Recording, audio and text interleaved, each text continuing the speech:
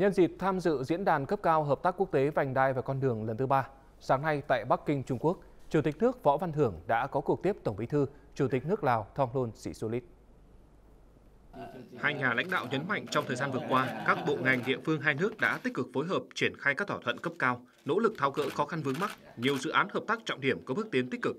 Trong bối cảnh tình hình thế giới biến động phức tạp và nhiều thách thức đan xen với cơ hội, hai bên nhất trí cần tiếp tục phát huy hơn nữa quan hệ chính trị gắn bó giữa hai nước, cùng nhau góp phần giữ vững môi trường hòa bình, ổn định để phát triển, tiếp tục tập trung triển khai hiệu quả các thỏa thuận cấp cao, hiệp định, thỏa thuận và kế hoạch hợp tác giữa hai đảng hai nước, phấn đấu giải quyết dứt điểm vướng mắc của một số dự án hợp tác kinh tế, thương mại và đầu tư, tăng cường hợp tác khoa học, đổi mới sáng tạo, hợp tác kinh tế số, thương mại điện tử, thúc đẩy hợp tác về chuyển đổi số giữa các cơ quan quản lý nhà nước cũng như giữa các doanh nghiệp.